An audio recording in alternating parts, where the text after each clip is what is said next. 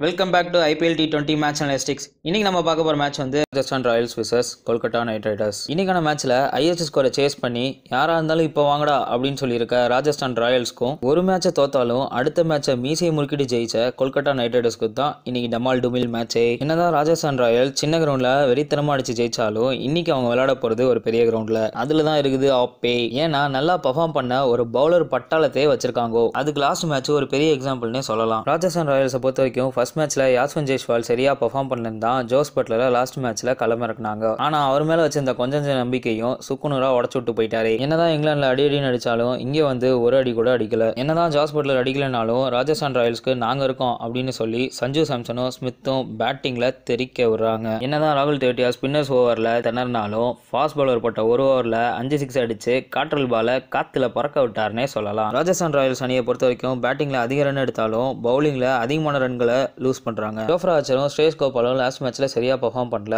ஆனா இந்த மேட்ச்ல அவங்க மேல அதிக எதிர்பார்ப்புகள் இருக்கு. ராஜஸ்தான் ராயல்ஸை பொறுத்த வரைக்கும் பவுலிங்ல ஒரு சேஞ்ச் கொண்டு வந்து ரன்ஸ் கொடுக்காம கண்டெயின் பண்ணாங்கன்னா மட்டும்தான் இந்த மேட்சை ஈஸியா ஜெயிக்க முடியும். கொல்கட்டா நைட் ரைடர்ஸை பொறுத்த வரைக்கும் ஃபர்ஸ்ட் மேட்ச்ல நல்லா பர்ஃபார்ம் பண்ணலனாலும் தன்னோட ரெண்டாவது மேட்ச்ல பேட்டிங்ல ஒரு மாற்றத்தை கொண்டு வந்து அந்த மேட்சையும் ஜெயிச்சிருக்காங்க. சுனில் இறக்குனது காரணமே அவர் ஹிட் அடிப்பாரு தான். ஆனா அவர் ஹிட் அடிக்காம பாதிலே அவுட் ஆயிட்டு ட்ரெஸ்ஸிங் ரூம்ல உட்காந்து ஃபார்ட்டி ஃபைவ்ல இட்டு பாட்டு கேட்டுட்டு இருக்காரு. என்னதான் டிகே கேப்டன்சில ஓகேவா இருந்தாலும் பேட்டிங்ல நாட் ஓகேவா தான் இருக்காரு. ஏன்னா லாஸ்ட் மேட்ச்ல திடீர் திருப்பமா வருண் சக்கரவர்த்தியை கொண்டு வந்து வார்னர் விக்கெட் எடுத்தது டிகேவோட நல்ல கேப்டன்சியை குறிக்குது. ஆல்ரவுண்டர் ஆண்ட்ரூ ரசூல் லாஸ்ட் மேட்ச்ல களம் இறங்கலனா கூட இந்த மேட்ச்ல டஃப்பான சுச்சுவேஷன் இருக்கும்போது ஒரு பெரிய நாக் ஆடினார்னா இன்னைக்கான மேட்ச் ஜெயிக்க வாய்ப்பு இருக்கு. கேகேஆரோட பவுலர்ஸை பொறுத்த வரைக்கும் இந்தியன் டீம்ல ஸ்டார் பிளேயரா இருந்த குல்தீப் யாதவ் கேகேஆர்லயும் ஸ்டார் பிளேயரா இருந்தாருன்னா இன்னைக்கான மேட்சை ஜெயிக்க அதிக வாய்ப்பு இருக்கு. கேகேஆர் அணியோட ஃபாஸ்ட் பவுலர்ஸை பொறுத்த வரைக்கும் நல்ல ஒரு ரிதம்ல இருக்காங்க. என்னதான் கேகேஆர் அணி தூக்கி தூக்கி இரநூறுக்கு மேல அடிச்சாலும் ராஜஸ்தான் ராயல்ஸ் அதை டிஃபெண்ட் பண்ணிடுவாங்களோ அப்படின்னு ஒரு பயம் இருக்கும். ஏன்னா ராஜஸ்தான் ராயல்ஸ் அணி